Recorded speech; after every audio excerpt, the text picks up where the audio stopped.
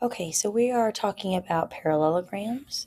A parallelogram is a quadrilateral in which both pairs of opposite sides are parallel. So we'll write that definition down.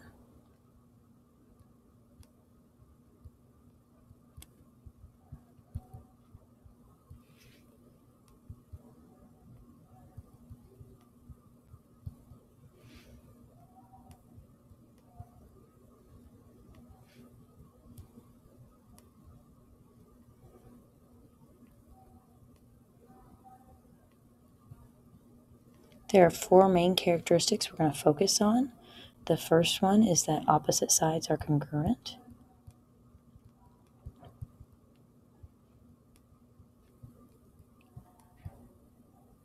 The second one is that opposite angles are congruent.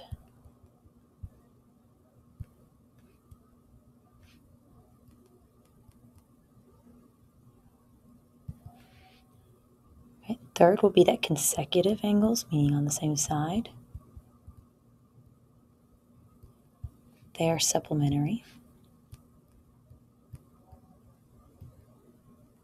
meaning they're going to add to 180, so I'll put that in parentheses as a reminder.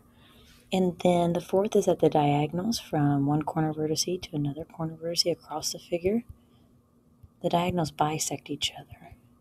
Bisect is a familiar word to us. We learned it before, but bisect means they're going to be into equal parts or cut in half, things like that. All right, so let's look at number one. I want you to keep in mind um, that these are a lot like a puzzle, so sometimes you have to find one part in order to get to the other part. So number one, we know that opposite sides are equal. So if I'm looking for AD, AD is going to be the same measure as BC. So AD is 8. All right. And then DC is going to be the same measure as AB. So it's going to be 15. Angle A would be consecutive. See how these share a side? AD connects angle A and angle D. Those are supplementary. So I'll have to do 180 minus 68 in order to get angle A, and that makes angle A 112 degrees.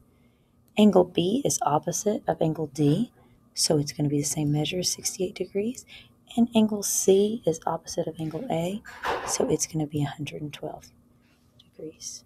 We're going to move on past number two because it's a lot like number one and go to something a little different. If you notice three, you can see those diagonals. RT and US would be considered a diagonal because they're going through the figure from one vertex to another. All right. Um, we still have our opposite sides being equal. Um, so if you notice UT and RS are opposite, so they're going to be the same measure. RU and ST are opposite, so they're going to be the same measure. And then it's going to talk about VS. And if you look at VS, VS is here, and it's going to be the same measure as UV. And I know that because diagonals bisect each other, so those sections are going to have to be the same. So that's going to be 7. And then VT is this part of RT, and they gave you RT. Okay, so this whole section, this whole thing is 30 which means this part has been bisected, RT has been bisected to be this part is going to be half. So to get this part, I will do 30 divided by 2. So we'll have 15. So bisect means to cut into equal parts or cut in half. All right, if you look at number 4, all right, we're going to be moving on. We're still talking about diagonals, and now we're talking about angles. Okay, so keep in mind this is a parallelogram, which means opposite sides are parallel. All right, so back in our unit when we talked about parallel lines, we talked about alternate interior angle, consecutive interior angle. And so those alternate interior angles are going to be very helpful because we'll be able to find certain measures for that reason. So um, let's first look at finding DEC. And when I do these angles, I try to trace them so that I can be very, very careful in order to find them. And so I'm looking for DEC, which is this angle here. Okay, and I'll erase that in a second so it doesn't muddy up what we're doing. What I know is that FED, this entire angle is 134. That's this information down here. And FEC, that left part of that angle is 71. So I can do 134 minus 71 and I will get 63 for this angle. Together, 71 and 63 should equal that 134 degree angle. Okay, so then we'll go to CDE. And CDE is this angle here. Okay, so we have that. And we will be able to find that by using some of our alternate interior angle information that we will have. And I know that this angle here is 21 degrees because of alternate interior angles. These two are going to be equal. So then we're going to have to figure out what that top angle is so we can add it together. Okay, that's going to be useful because um, we'll have to put the two angles, this angle here, with the 21 to be able to do that. What I do notice though is since opposite angles are equal, this angle here is 134. Okay, when I put that whole thing together, and the angle on the left over here is 21, and all the angles in a triangle are going to add to 180 degrees. So I can subtract 180, and I can take away 21, and 134, and that's going to leave me with 25. So this angle here is 25 degrees. So when I put them together, 25 plus 21 will give me CDE as 46 degrees. Then I'm going to look at ECD. And ECD is this angle here. Okay, and that's great and easy because these two are alternate interior angles for the parallel lines, and so it's 71 degrees. So it's going to be equal. And then DFE is this angle here, which since we found this one as 25 degrees, these two are alternate interior angles, so it's 25 degrees. Um, so probably by now you can kind of see what I mean by um, has like a puzzle-like mentality to it. I'm going to have to zoom out a little bit to get the picture in for this next one. So they gave us a bunch of information in words or in the statement and not in the drawing. So we may have to add that in ourselves. Okay, so um, we'll just kind of watch that. And I'm going to go ahead. I want to label in what I know. And I know that XY is 15 and WX is 22. And ZX is this entire segment here. I'm not going to write it in there, but this whole segment, okay, is 32. WT is 10. Okay, and then we have WZY is 62. So this whole angle here is 62. I don't want to write over the line, so I'm going to do that. And then WXT, WXT here is 27 degrees. All right, and then ZWT is 77 degrees. So I'll squeeze that in there next to that 10. Okay, so let's see what they've asked us for. They've asked us for ZW. ZW is opposite of XY, so it's 15. And ZY is opposite of WX, so it is 22. All right, and then TX is just this section here. We know the whole thing again is 32. So to get to tx, we'll do 32 divided by 2. So we'll have 16. And then wy is this entire length. We know this part of it is 10, which means this part is also 10. So if I put those together, I'll have 20. So there's for the segments. The segments are a little easier to identify because you don't have to worry about um, overlapping them and tracing them as much. Okay, I'm going to erase a little bit about my segment so it's not as wild looking. All right, TZY, TZY is this angle here, and these are alternate interior angles, so they're 27 degrees. So alternate interior means in between the parallel lines, but on opposite sides of the transversal. So those diagonals are acting as transversals. X, Y, and Z. X, Y, Z is this big angle here, right there. So that is X, Y, and Z. And in order to find that, we're going to have to do a little bit of work um, to do that because these two angles right here, these two angles together, those are consecutive interior angles, which means they're supplementary. So I'm going to take 180 and minus out angle Z, which is 62 degrees. And so that I will be left with 118 degrees. All right. So then let's look a little bit more. And I need to find, I'm going to put this 27 back in just in case I need it later. And then we are looking for XWT, which is this angle here. Okay, well, what I know is that this entire angle here is 118. Therefore, this entire angle here is 118. So I'll do 118 minus 77, and that will give me um,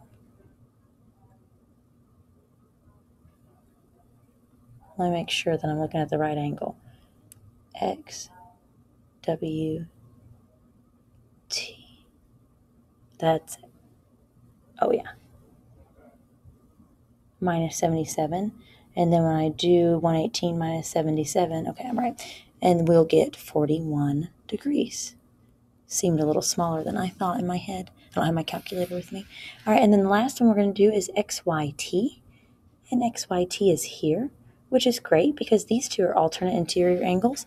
And so it's just going to be 77 degrees. Okay. All right. And so uh, angles number six is a lot like what we just did, except it's just focusing on those angles. Okay, so you use lots of alternate interior angles, opposite angles are equal, consecutive angles add to 180, that kind of thing. So let's now look at number seven. Um, we've got a little bit more going on in the algebraic world here, um, but we'll use our geometric rules that we just talked about to help find x. And so we know that opposite sides of a parallelogram are equal. So I'm going to actually just set these two equations equal to each other. And then I'll solve it. So I'll subtract 5x from both sides. At the same time, I'm going to add 25 to both sides. And I'll have 4x is equal to 32. Divide both sides by 4, and I'll get x is equal to 8. Um, number 8 is just like that, so we're going to move on down to number 9. Okay, it tells me that this whole section here is 74. And it tells me VW, just this part, is 4x plus 1. So don't set them equal. If you look, VW is smaller than TV. It's contained within TV with some left over. Okay. What I do know is that diagonals bisect each other. So it's going to take two lengths of VW in order to be the entire length of TV. Or hmm. think about it like this these two sections are equal. So this is also 4x plus 1. So you're going to need two 4x plus 1s. Okay. Um, 4x plus 1 is only half of the 74. So I'm going to take two of my 4x plus 1s because that's how many it takes to equal 74. And I'll distribute that I subtract 2 from both sides. Divide by 8. And I'll have x is equal to 9. We're going to do 10 because it, it's a little different as well. Okay, we have NS is 2x plus 7, and SQ is 5x minus 23. So neither of them are the whole length. They're both the halves. They're both the parts that make up that same diagonal. These are equal to each other. So since they are equal to each other, we'll actually just put an equal sign. So in this case, we didn't have to multiply to equal them. Okay, I number nine, I had to make them equal, so I had to double that smaller one, but these are both the halves, so they'll be equal to each other. Okay, so let's go ahead and solve that. Subtract 2x from both sides and add 23 to both sides. Same time, so that I get 30 is equal to 3x divide both sides by 3, and I get x equal 10. I'm not done though, because it asked me to find NQ. And so I've got to plug that in. Notice NQ is this entire length, and they didn't give me an equation for that. But what I can do is I can plug it in to each one if I want and add them. Or you can plug it into either of them and double it because it'll take two and they are the same measure. That's kind of up to you. I'm going to just plug it into both of them so it's good practice. And so if I simplify just this part, I get 27. And if I simplify just this part, I get 27. And the reason I did it separate like that is because those should be the same measure because those sections are equal to each other. And I'll get NQ is 54. Okay, let's go down to number 11. Opposite angles are equal Okay, also pay attention to the direction. We're not just finding x. Once we find x, we'll have to use it. But I need to find x in order to find angle B. So I'm going to equal these two opposite angles to each other. minus 4x from both sides and add 15 to both sides. And so that I get 2x is equal to 16, so x is 8. It's asking me to find angle B, but they didn't give me equation for angle B. What I do know is that B is supplementary to either both A and C, so I'll just pick one to plug it into. I'm going to choose these two since those are consecutive angles, and I will just plug in to find the actual measure of C first. So I'll plug in 8. Uh, 4 times 8 is 32, plus 11 is 33.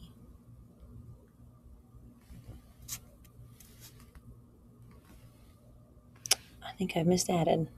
I wrote that there. There, that's 26. So this is 13. That's much better. Left off a 1. So be careful not to do stuff like that. That's silly on my part. All right, so we'll get 63 for this angle. And then those are supplementary, so I need to do 180 minus 63 in order to find angle B. So the measure of angle B is equal to 117 degrees. Go on to number 2. If you look, these are already consecutive. Okay, consecutive interior angles are supplementary. So on number 11, they're opposite. We equal them. On number 12, they're consecutive, so I'm going to add them up to 180.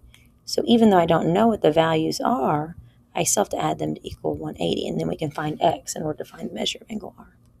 So adding those two angles to equal 180, let's first simplify. And then add 7 to both sides. Divide both sides by 11.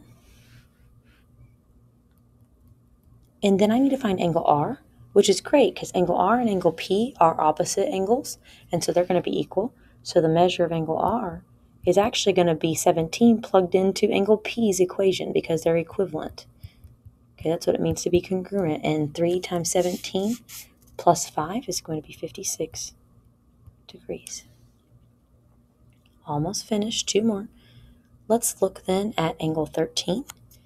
Okay, and we know that KLH is important, the information is KLH, this entire angle here, we know it's 134 degrees. Okay, that's important.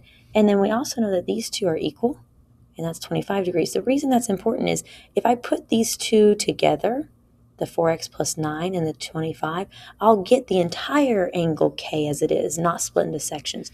So I will add 4x plus 9 plus 25. That's just that angle K. And it's going to be consecutive with angle L. So I'm going to add in my angle L, my KLH, and it's going to be equal to 180. So pay attention what we did there. We put these two angles together to equal that entire angle on the top right, and it's going to be supplementary to that angle on the bottom right because they're consecutive. If I go ahead and simplify, I'm going to end up with 4x equal to, when I subtract those uh, numbers over to the other side, 4x equals 12. So I did 180 minus 134 minus 25 minus 9 to get that 12. Divide both sides by 4, and I'll get x is equal to 3. And the instructions said just to solve for x. 14 is looks similar, except for they asked me to find the measure of angle ADB, which means I'll have to end up plugging it in at some point. We know that angle ABC, this is ABC here, is 115. Okay, I also know that these two angles are equal, so this is also 6x minus 11. So if you notice that 4x plus 6 and that 6x minus 11, when I put them together, they're equivalent to that 115 degree angle. So I'm going to add them not to equal 180 because they're not consecutive, but I'm actually going to add them together to equal that entire angle that they told us to measure of 115. So I will simplify so that I have, when I combine my x's, I'll have 10x. I'm going to add 11 over to the right and subtract 6 over to the right so that I have 10x equals 120. Divide both sides by 10, and I'll get x is equal to 12. Okay, so then I have to find ADB, and ADB is just this part here. Okay, I like to use the letters to trace to make sure I'm talking about the right angle. And so I'll do 6 times 12 minus 11, and I will get 61